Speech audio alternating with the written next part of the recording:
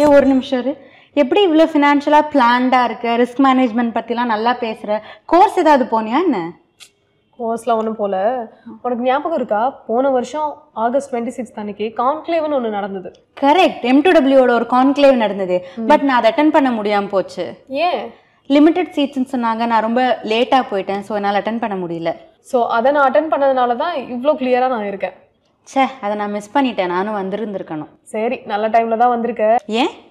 ஆமாம் இப்போ M W two point two வரப்போகுது. போன வாட்டி மிஸ் பண்ண மாதிரி இந்த வாட்டி மிஸ் பண்ணிடாத. உடனே போயிட்டு ரிஜிஸ்டர் பண்ணு. கண்டிப்பாக பண்ணுறேன் இப்போ இதெல்லாம் பற்றி பேசுகிறாங்க உன் கோலை எப்படி அடையிறது? இன்னும் வெற்றியை எப்படி தேடுறது? ரிஸ்க் மேனேஜ்மெண்ட்டை எப்படி செய்யறது? ஸோ இதை பற்றி தான் இந்த கான்க்ளேவ்ல சொல்ல போகிறாங்க அப்போ நியூ கமர்ஸ்க்கு இது ஒரு பெரிய நல்ல ஆப்பர்ச்சுனிட்டியாக இருக்கும்னு நீ சொல்கிற இல்லையா? கண்டிப்பாக மெயினான விஷயமே அதுதான். ஸோ புதுசாக வரவங்களுக்கு ரொம்பவே ஹெல்ப்ஃபுல்லாக இருக்கும். ஓகே. ஸோ கண்டிப்பாக இந்த தடவை நான் அட்டன் பண்ணுறேன் அது. கண்டிப்பாக இப்போவே போய் ரெஜிஸ்டர் பண்ண ஸ்டார்ட் பண்ணிடு. ஸோ நீங்களும் மறக்காம conclave two point over register பண்ண மறந்துடாதீங்க. நீயும் தான். போன வருஷம் நான் பண்ண தப்ப நீங்கள் பண்ணிடாதீங்க. கன்ஃபார்மாக ரெஜிஸ்டர் பண்ணுங்க.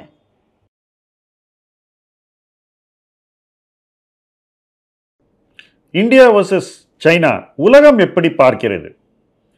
இந்தியன் எக்கானமியுடைய சைஸு கிட்டத்தட்ட நாலு ட்ரில்லியன் டாலரை இந்த ஆண்டு எட்டும் என்று எதிர்பார்க்கப்படுகிறது. இதே காலகட்டத்தில் சைனீஸ் எக்கானமியினுடைய சைஸ் பதினெட்டு புள்ளி அஞ்சு ட்ரில்லியன் டாலர். ஸோ குறைஞ்சபட்சம் four point five times the size of our economy சைனாவினுடைய பொருளாதாரம். ஜிடிபி வைஸ் சைனா இவ்வளோ பெரிய பொருளாதாரமாக இருக்கும் போதிலும் உலக பங்குச்சந்தை எப்படி சீனாவை பார்க்கிறது? சீன பங்குச்சந்தையை எப்படி மதிப்பிடுகிறது? உலக பங்குச்சந்தை எப்படி இந்தியாவை பார்க்கிறது? இந்திய பங்குச்சந்தையை எப்படி அளவிடுகிறது? இங்கே தான் ஃபஸ்ட்டு கேப்பே நமக்கு தெளிவாக தெரியுது. Eighteen point five trillion GDP இருக்கக்கூடிய ஒரு நாடு சைனா. அதனுடைய டோட்டல் மார்க்கெட் கேப் வெறும் எட்டு ட்ரில்லியன் டாலர் தான். ஸோ ஜிடிபியை விட ஐம்பத்தைந்து சதவீதம் குறைவான ஒரு மார்க்கெட் கேப்பை சைனா வச்சிருக்கு. இந்தியாவினுடைய ஜிடிபி வெறும் நாலு ட்ரில்லியன் மார்க்கெட் கேபிடலைசேஷன் அஞ்சு புள்ளி அஞ்சு ட்ரில்லியன் ஸோ இந்தியாவினுடைய மார்க்கெட் கேப் டு ஜிடிபி பார்த்தீங்கன்னா one point three five times இருக்கு.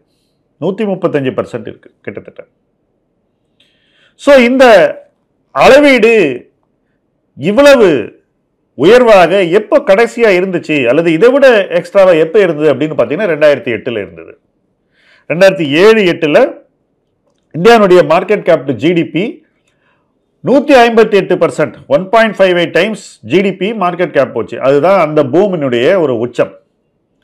இப்போ அந்தளவு இந்தியானுடைய பங்குச்சந்தையின் மதிப்பு போகணுமான்ற கேள்வியை சந்தை தான் பதில் சொல்ல வேண்டும். என்னை பொறுத்த வரைக்கும் எப்பெல்லாம் மார்க்கெட் கேப் ஜிடிபி ஒன்றுக்கு மேலே அதிகமாக போகுதோ அந்த டைமில் கொஞ்சம் சேஃபாக இருக்கணும் அப்படிங்கிறது தான் என்னுடைய கணிப்பு. இப்போ நிறைய பேர் எங்கிட்ட நீங்கள் சில மாதமாகவே நீங்கள் வந்து காஷன் கொடுத்துட்ருக்கீங்க சார் ஆறு ஏழு மாதம் மார்க்கெட் ஏறிடுச்சேனாக்கா நான் மார்க்கெட் கேப் ஜிடிபி ஒன் வரும்போதே சேஃபாக இருக்கணும்னு நினைக்கிறவன். ஒன் பாயிண்ட் த்ரீ ஃபைவ்ல கூட சேஃபாக இருக்க வேணாம்னு சொல்கிறதுக்கு நிறைய பேர் இருக்காங்க. ஒவ்வொருத்தருடைய மைண்ட் செட் எப்படி அப்படிங்கிறத பொறுத்து தான் சரி one point five eight GDP போன இந்தியன் மார்க்கெட் ரெண்டாயிரத்தி எட்டில் ரெண்டாயிரத்தி ஒன்பதில் வெறும் நாற்பத்தொம்போது பர்சன்ட்டுக்கு வந்தது. ஸோ நூற்றி ஐம்பத்தெட்டுலேருந்து நீங்கள் நாற்பத்தி ஒன்பதுக்கு வரும்போது மூன்றில் இரண்டு பாகத்தை நீங்கள் இழக்கிறீர்கள். அதுதான் ரிஸ்க்கு அப்போ நான் நூறுக்கு மேலேயே ரிஸ்க்குன்னு சொல்கிறதுல என்ன தப்பு இருக்குது நான் சேஃப்டியை தானே பார்க்குறேன் அப்படின்றதா என்னுடைய பார்வை. அப்போ சைனீஸ் மார்க்கெட் சேஃபா சார் அப்படின்ற கேள்வி நேச்சுரலாக வரணும். ஏன்னா சைனாவினுடைய மார்க்கெட் கேப் டு ஜிடிபி வெறும் பாயிண்ட் ஃபோர் ஃபைவ் தான். ஃபார்ட்டி ஃபைவ் பர்சன்ட் தான் இருக்குது இந்த கேள்விக்கான விடையை எங்கே தேடணும் தெரியுமா? அதுக்கு ஒரு இண்டெக்ஸ் இருக்கு. அந்த இண்டெக்ஸ் பேர் தான் Morgan Stanley composite index MSCI Morgan Stanley composite index ஒரு எமர்ஜிங் மார்க்கெட் இண்டெக்ஸ் அப்படின்னு ஒரு இண்டெக்ஸை பிரத்யேகமாக வச்சுருக்காங்க. வளரும் நாடுகளுக்கு. அவங்க சீனாவையும் வளரும் நாடாக தான் பார்க்குறாங்க அவங்கள பொறுத்த வரைக்கும் அமெரிக்கா தான் வளர்ந்த நாடு. ஏன்னா மார்கன் ஸ்டான்லி ஒரு American company so MSCI EM emerging market அப்படின்ற இண்டெக்ஸ் ஒன்று இருக்குது பட் இந்த இண்டெக்ஸில் இருக்கக்கூடிய கம்பெனிஸ் பெரும்பாலும் பெரிய கம்பெனிஸாக இருக்கும். லார்ஜ் கேப் தான் நிறைய இருக்கும். இன்னைக்கு உலக முதலீட்டாளர்கள் சிறிய கம்பெனிஸ்லையும் பார்ட்டிசிபேட் பண்ணும் க்ரோயிங் எக்கானமிஸில் அப்படின்னு விரும்புகிறாங்க முதலீட்டாளர் விருப்பத்தை நிறைவு செய்வதற்காக மார்கன் ஸ்டான்லி என்ன பண்ணாங்க? இன்னொரு இண்டெக்ஸை கிரியேட் பண்ணுறாங்க இந்த இஎம் இண்டெக்ஸுக்கு கீழேயே.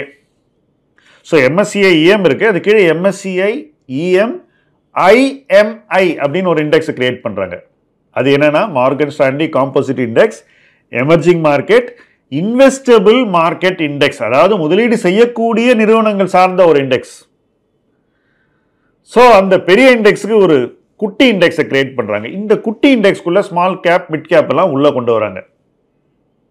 சரி.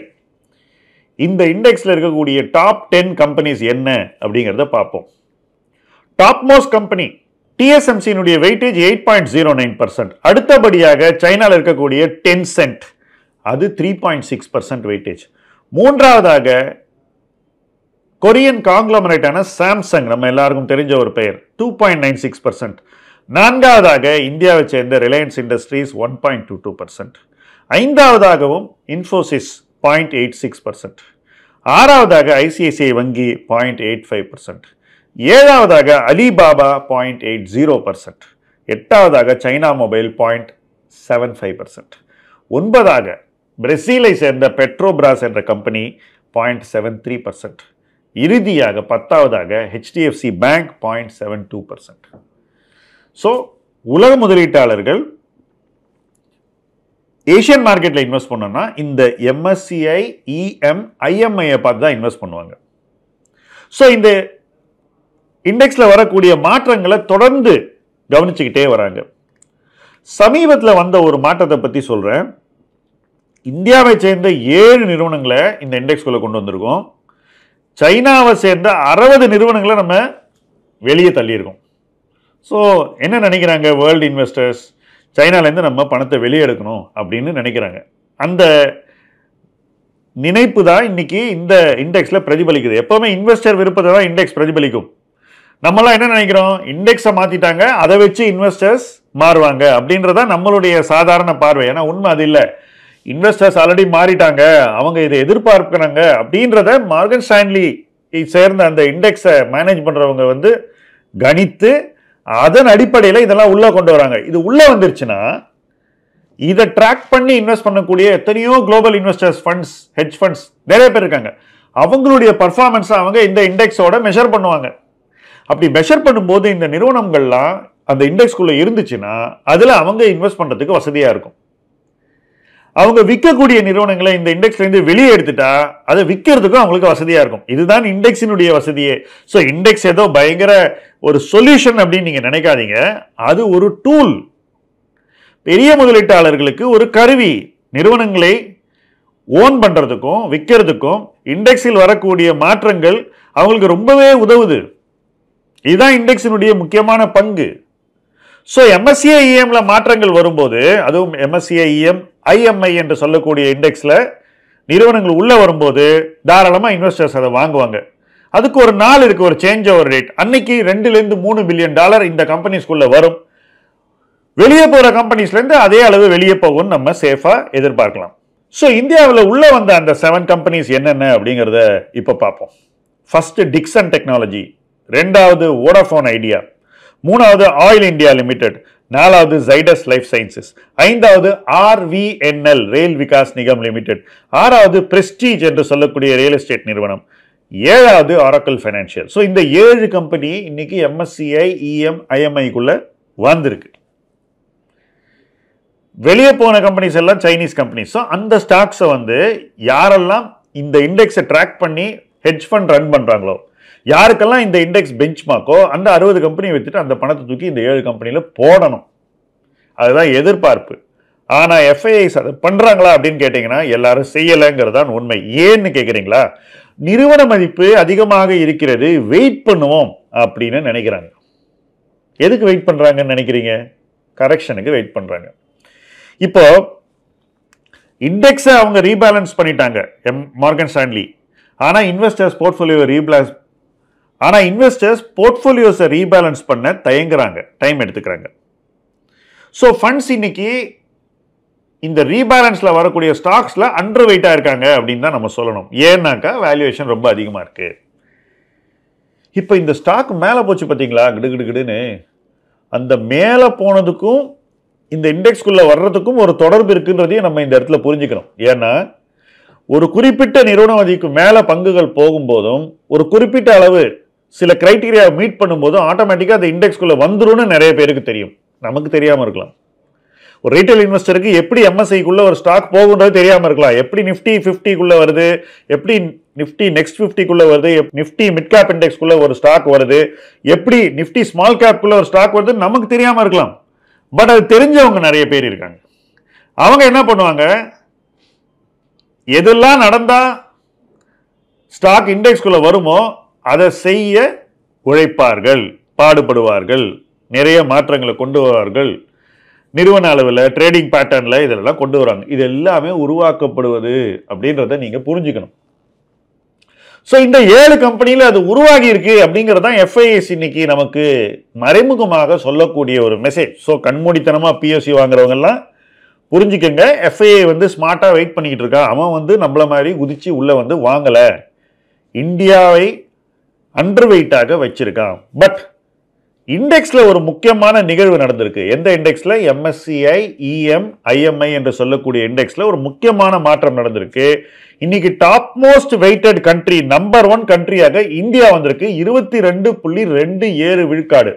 Twenty two point two seven percent நம்மளுடைய வெயிட்டேஜ் நம்ம சைனாவை மிஞ்சி இருக்கும் சைனாவுடைய weightage twenty one point five eight percent so கிட்டத்தட்ட பாயிண்ட் சிக்ஸ் நைன் பர்சன்ட் நம்மளுடைய வெயிட்டேஜ் இன்னைக்கு சைனாவோட அதிகமாக இருக்கு. ஒருவேளை சைனீஸ் பங்குச்சந்தை மேலும் சரிந்தாலோ இந்திய பங்குச்சந்தை மேலும் உயர்ந்தாலோ இந்த கேப் மேலும் விரிவடையும். மாறாக ரிவர்ஸ் ஆச்சுன்னு வச்சுக்கோங்களேன்.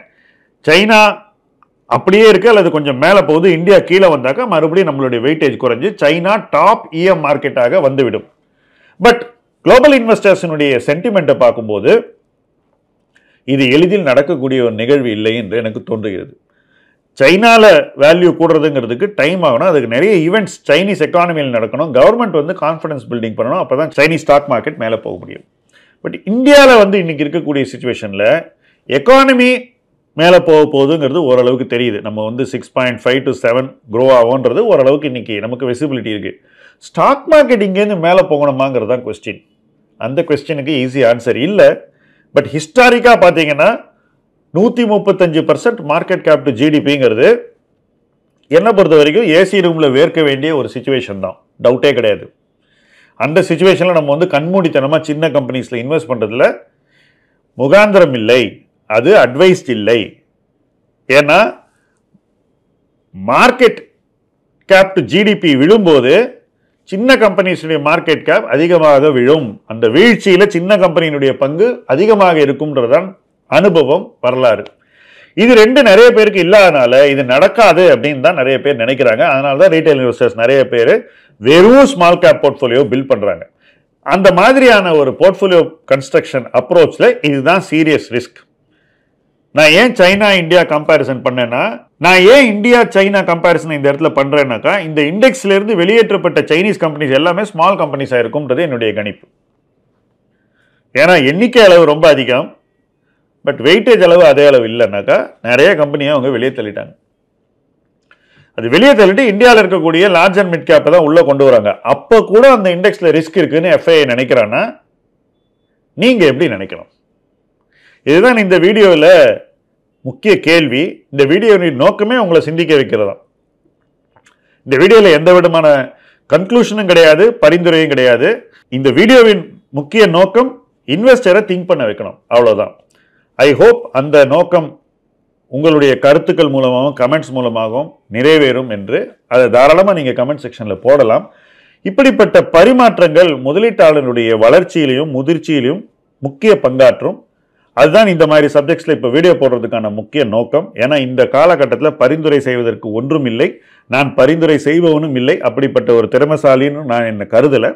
ஸோ எக்ஸ்சேஞ்ச் பண்ணுவோம் வியூஸை யூஸ்ஃபுல்லாக இருந்தால் உங்கள் கமெண்ட்ஸை நீங்கள் தாராளமாக போடணும்.